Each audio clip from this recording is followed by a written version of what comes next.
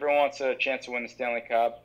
Uh, but at the same time, we all need to stay healthy and we all need to make the right choices here. For Atkinson, those choices are critical. A couple days after they brought their baby home, Natalie soon developed a 103 degree fever, and then older brother Declan became ill. Neither tested positive for COVID 19, and both are now healthy. And I don't even know how I'm going to describe to uh, even Declan, but to Caden, how he was born during this, you know, pandemic, what we had to deal with. That experience reshaped Cam's concerns about returning to hockey, whether games are in Columbus or elsewhere. He says the risks are real.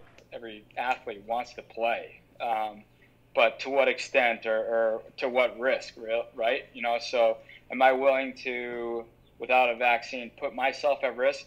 Um, you know, and potentially get my family, my kids sick, and or at least be away from them for two months, three months. Atkinson operates a charity called the Force Network Fund, and typically it supports causes related to our military. But now Cam's using it to fight COVID 19.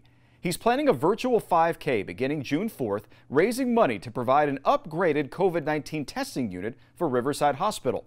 It'll give you a, a rapid, accurate results within an hour and a half. So instead of waiting, you know, two, three days to find out your results, essentially it's going to keep all the healthcare workers, doctors, nurses, and, and of course all the patients uh, healthier